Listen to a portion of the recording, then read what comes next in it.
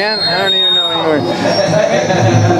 anymore. It's a pal's birthday party.